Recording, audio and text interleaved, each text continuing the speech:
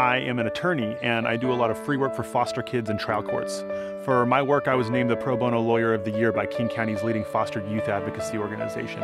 I try to bring that same kind of compassion and dedication on your behalf to Olympia.